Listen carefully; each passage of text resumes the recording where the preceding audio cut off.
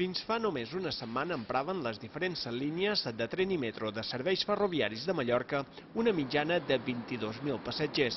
Dilluns ja només feren servir aquest transport a 3.600 viatgers, una xifra que ahir ja només va ser de 2.500.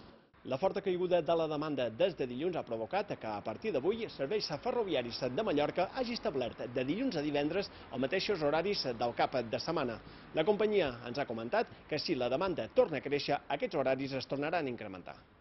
Amb els nous horaris només surten dos trens de Palma cada hora, un cap a Manacor i l'altre cap a Sa Pobla, mentre que en direcció a Palma en surt un cada hora des de Sa Pobla i l'altre des de Manacor. S'han suprimit els serveis express fins a Inca i també el metro fins a Marratxí. El metro cap a la universitat surt a cada 30 minuts.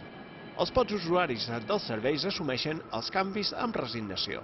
No va más porque como no tengo coche toca ir en el tren. Hay con mucho cuidado por el virus y eso. Voy a llegar tarde y, y tanto a la mañana madrugar mucho y luego esperar y luego para volver igual. Menos trenes, porque ese cuando te entra el tren te tiene miedo, porque no ve nadie. Pero ¿qué vamos a hacer? Demà entraran en vigor els nous horaris per als autobusos interurbans, per la qual cosa recomana als usuaris que consultin les noves freqüències al web tip.org.